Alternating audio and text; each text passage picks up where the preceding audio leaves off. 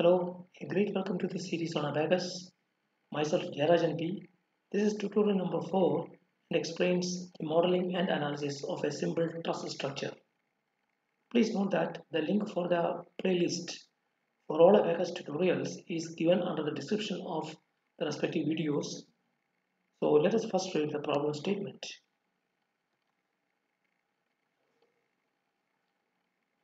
So the truss structure considered for the analysis in Abaqus is shown here. As you can see that it is a simple triangular truss structure and has a total base dimension of 4 meters and a height of 1.5 meters. The left support is pinned at the point A and the right support is on rollers at point C.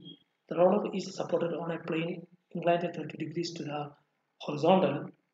The truss is subjected to two loads a concentrated downward load of 4 kN at the point B and a horizontal load of 3 kN at the point D.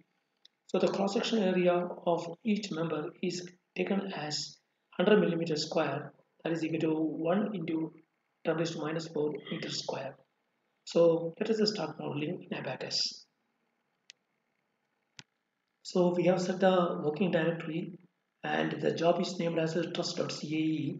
So let us straight away start creating the part okay so press the part. So we will name this part as a truss. And we'll select it's a 2d planar truss deformable and some wire element. Continue. Now the sketcher is available to us. So we will start uh, sketching the entire truss first.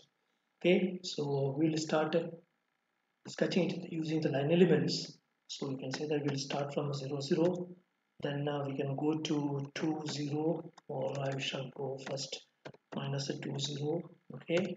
And from minus 2 0 I will go to directly 0 1.5 okay? That's good. And from here I will go straight to 2 0 okay? So and from here again back to the origin I will go. So yes we find that our truss is complete. Only thing is that we have to add the vertical number. So what we do is that we'll just pick this number pick this node draw this. So this means that our uh, truss is complete. So we can uh, sketch the section it's completed done. So we can say that yes the part of truss is available to us. And remember here you need not to create the parts member by member. You can sketch the entire truss now we shall go for the second module.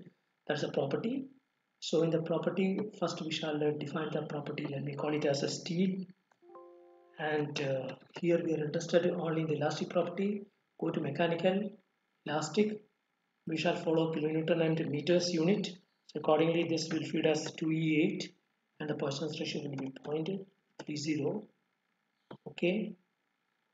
Next, we shall proceed for uh, the creation of the section. So I'll call it as a section truss truss I will select beam then the truss continue and then material will be okay for me. And here as for the truss element we have to provide the cross section area. And this cross section area as stated in the problem um, statement uh, it is uh, 100 mm square which, which will be 1e minus 4 meter square okay? So we have to provide the cross section area okay? That is given over here. So this means that we have created the section for us okay? We have to assign this section to the entire truss so it asks select the regions to be assigned the section. So we will select the full truss okay? So the section is a section truss that's good enough.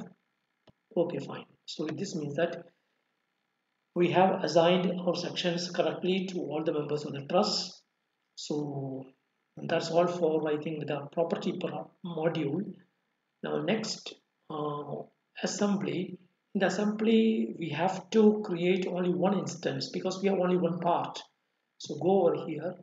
So the instance select the truss okay. So this means that we have created uh, the assembly also. So next from the assembly we can go straight to the step. And the step obviously we to create a new step for the definition of the load. So let me call it as a step load. Okay and that will be placed after the default step of initial created by Abaqus. We will select the analysis procedure as a static general continue and uh, we will keep all the default options okay? And ensure that NLGEOM is a set equal to off which takes care of what we call as the large displacement problems. So this is okay for us.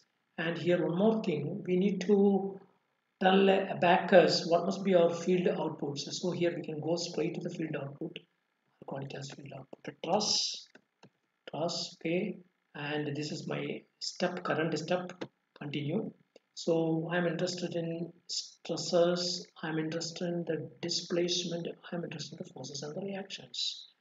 So that is okay for me so we have created uh, the field output uh, according to which uh, the Abaqus will write the proper output variables to the uh, ODB file okay so we have uh, completed our step module now there is no interaction here because it's basically not a contact problem. So the, we can straight away go to the load module. And in the load module, uh, we have two tasks. One is to specify the boundary condition. Next one is uh, defining the loads. Now, here one uh, important task is that we know that the role of support, okay, that is uh, on the right side, okay, it is basically it is not on a horizontal plane it is on an inclined plane which means that we have to create a new datum axis here which is inclined at 30 degrees right so anyway let us first create a boundary condition at this edge so I will call it as okay I'll just press it so BC I'll call it as BC pint BC pint that is very simple for me and remember that our boundary conditions will be in the initial default step created automatically by Abaqus so we'll have mechanical displacement rotation, continue, and it asks select the regions. Obviously, this is only one region. That is my left support. And here I want to restrain both the U1 and U2. That is my X and Y displacements. Okay, fine. So that's good enough. Now what we have to do is we have to create a datum axis at this point that is inclined at 30 degree. So let me just make it a little bit smaller okay this is good enough okay now first what you need to do is the step is very simple first create a datum axis which is inclined at 30 degree to the horizontal because you know that the roller support is uh, on an inclined plane so let us create the datum axis so here we have an option create datum axis okay rotate from line just click it okay fine so it asks you select a straight line from which to rotate I want to rotate from this reference line. Okay. Select a point about which to rotate. I want to rotate about this point. Okay. Angle of rotation, obviously we know that is 30 degrees. Okay. Now you see here a new datum axis is selected and we know that our roller support has to be provided along the support. Okay. So this is my datum axis. Once the datum axis is created, we need to define uh, our datum uh, that is a datum coordinate system very specific to this axis so what we can do is we can go here here we have a created datum CSYS that's a new coordinate system. So we are going to now based on this datum axis we are going to create a new datum coordinate system.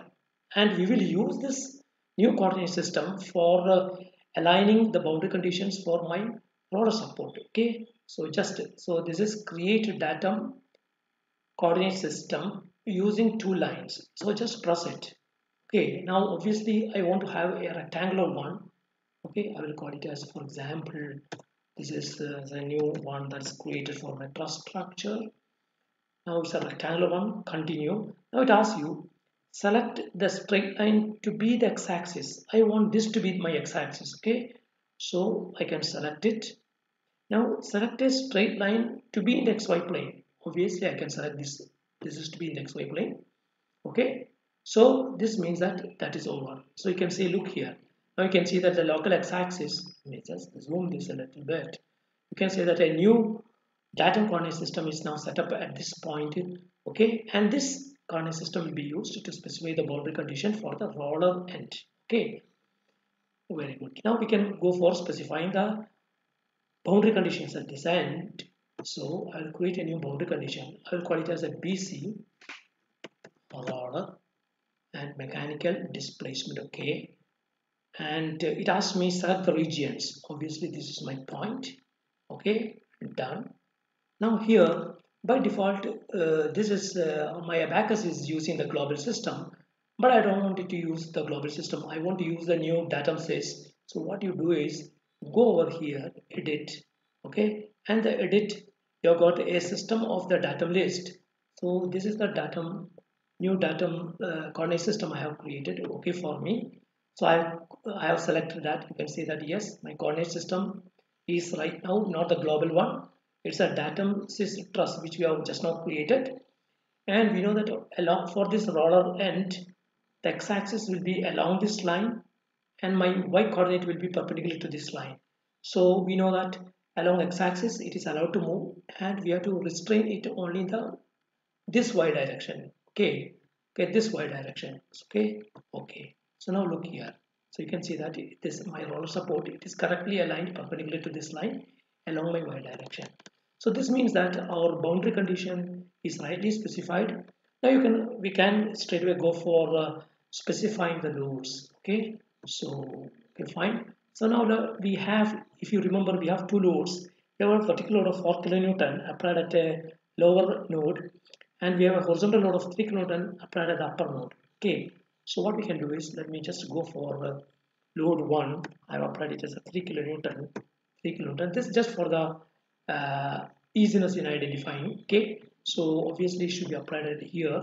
So load 1 3 kilonewton is applied horizontal. It's a concentrated force. Continue now select the point so I want to apply it over here okay select it done now obviously this is acting in the positive x direction. So we can give it as directly 3 kilonewton because we are following a kilonewton and meter system. And remember we are in the global system only now. There is no no need to change it to the uh, newly created datum coordinate system. So cf1 in the x direction. We are going to 3 kilonewton this is okay. Fine. Fantastic. We have applied this load in the horizontal direction. Now we can apply a load of a 4 kilonewton in the downward direction at this node. So in a similar way what I, what I will do is I'll just write it as 4 kilonewton. You can also add it as a down. Okay so we can easily we'll be able to easily identify it. We'll apply it in the same analysis step. Okay concentrated force fantastic continue. Now it asks you to select the point select it done. Now this is in the two direction okay? And it's a downward means that you have to write it as minus 4 okay? Yes. So means that our load application is also over right? So we have uh, provided the right boundary condition and we have applied the loads at the right locations. This means so let me just save it okay? This means now we are ready to go to the next one that is the mesh. Now here one thing is that it's a truss element. So truss element do not require any kind of a meshing along its span length along its member length. So this means that we need not to divide this member into any segments. So accordingly for me the global meshing is not important the global seeding is not important. I will just use the local seeding and I will instruct Abaqus you split every member only into as one member. That means no subdivision. So what you do is you go here that is seed seed edges this is normally we call it as a local seed seed edges okay fine so part instances so whenever we have to do the meshing ensure that you highlight not the assembly you highlight the part okay fine so go to now right now it's okay now select the regions to be assigned the local seeds. So I want that the local seeds to be applied for the entire one. Okay, done. Now I will instruct Abaqus. Okay, you please do the local seeds not by the size, by the number. So now it asks you sizing controls how many elements. So every member I want to, I don't want to subdivide, which means that I want to keep the number of elements as one only. Okay, so I will, okay, so now you will find that yes, the local seeds are directly applied, which means that this will not be divided along its length. Okay, so every member is retained as a single member only because that is good enough for the truss analysis. Okay, now you can straight away go for uh, the selection of the right element. You click this button and uh, ask you what are the numbers to be assigned this members to be assigned. So, okay I have selected the members. Now what we can do is we can select my family as the truss and uh, that's okay. So we can see that the element that we assigned is, is a two node it's a two node linear 2D truss that is known as T2 D2 element. Okay? That's okay.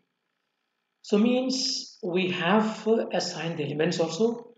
After assigning the elements we can straightway go for the meshing. Just mesh it. We don't have any meshing as such but we have to do the meshing also to tell Abaqus it's being rightly meshed. Yes. Okay? So the meshing is over. You can see that the color has changed now I think uh, we have completed all activities. Now we are ready to run the analysis.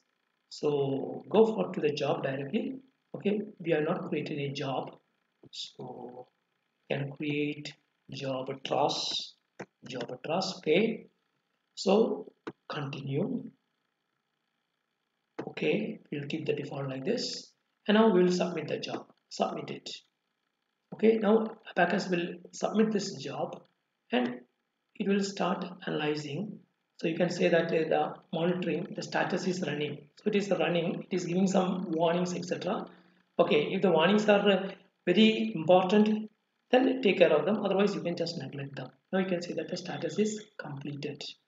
Now we can straight away go to the results in order to see the uh, the field output variables that are of interest to us. So just press this results button.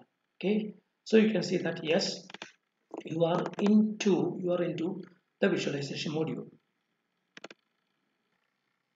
Okay so let us start uh, reviewing the various uh, field outputs. The first one is uh, the von Mises. Uh, here we have selected s11 which basically indicates the axial stresses in the members. So remember that these stresses are in kilometer per meter square. So if you multiply for example these axial stresses by the area you obtain the forces in the various members. Okay so now let us just investigate using the probe values. What are the stresses in the various members? Go to tools and query probe values. For example, if you see this uh, this member, you can see that just we'll see that because we have to select the, the elements because we are going to investigate the stresses. So we'll select the element face. Okay, fine. So so we'll see select from the viewport. Okay, fine. So here you can see that this member has got a stress of uh, minus 14,583 kilonewton per meter square and on the other hand this vertical member has got a stress of 4,000 40,000 kilonewton per meter square. So using the probe values you will be able to directly obtain the axial stress in the various members and now that's all for the Mises. Now let me just uh, take you to the deformed shape of this truss so I'll just press a deformed shape. So you can see that here yes. So I have plotted both the undeformed shape as well as the deformed shape. And for this what you need to do is that you have to just press this button allow multiple plot states. Okay? So here you can see that uh, the displacements we are interested in basically the u2 that is the displacement in the downward direction u2 so this is the u2 so you can see that the various the values of the U2 at various nodes are listed here. So here again you can see that all the values are in meters. So ensure that uh, the displacements at the various nodes are uh, as per our uh, you know um, feeling. For example, the node 4 is pinned means that the deformation here should be 0 0 and on the other hand 2 is basically is the roller support that is on an inclined plane it means that we expect both u1 and u2 so that is already uh, seen here over this display. And uh, we have got a vertical load. At this joint means that the joint should move downward. So that is very clear to us. Now uh, another thing is that um, we'll uh, we'll be able to also obtain these values directly from that uh, query also. You can just query the probe values okay? And the probe values uh, we are we will go for select from the viewport then you can have the nodes okay? So for example if you are seeing that uh, this node okay you can see that is e raised to minus 37 that's almost zero.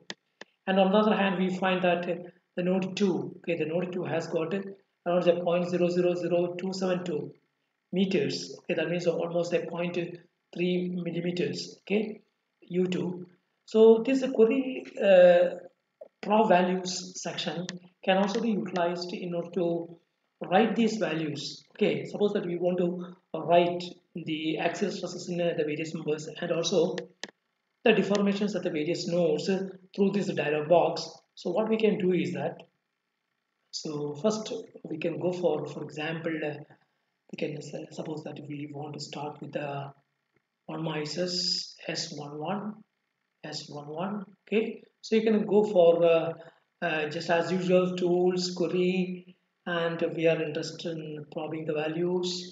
So instead of selecting from the viewport I would select it from a display group because I have got a display group already there. So prob I will because it's an element stresses.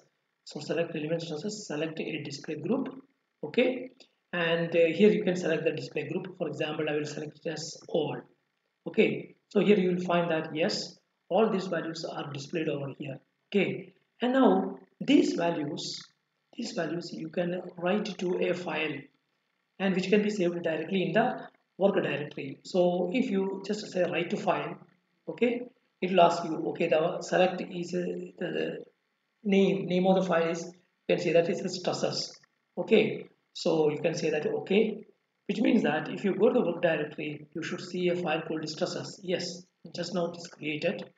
You double click this file and open in the notepad so you'll find that yes we have the various elements 1 2 3 4 5 and along with their axial stress values. Okay? So similarly you can also append to this file the displacements as well. Right so you can go to the displacement query options and then select the required nodes through the display group so you can append this to the existing stress file okay so this way we will be able to also obtain a report of the element stresses as well as the nodal displacements. So I think that that's all for this tutorial. Uh, we will come with a very interesting tutorials in the coming weeks. Uh, till then, thanks a lot.